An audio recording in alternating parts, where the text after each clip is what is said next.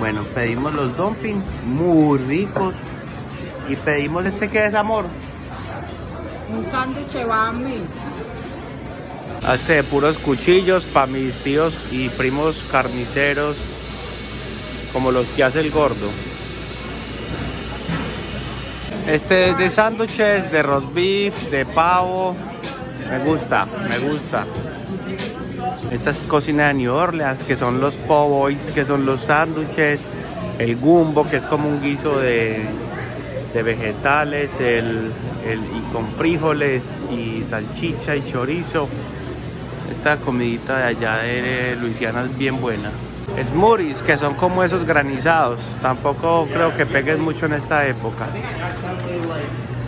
Helados, muy regular. Helados pues y lácteos con este frío. Y galletas.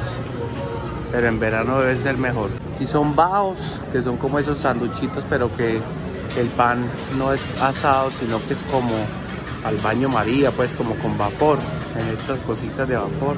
Y ramen, que es como la sopita, como el caldo que hacen en Corea. Y le pueden echar pollo, le pueden echar vegetales, muchas cosas deliciosas. Dumplings, que son como unas empanaditas asiáticas que son como hervidas.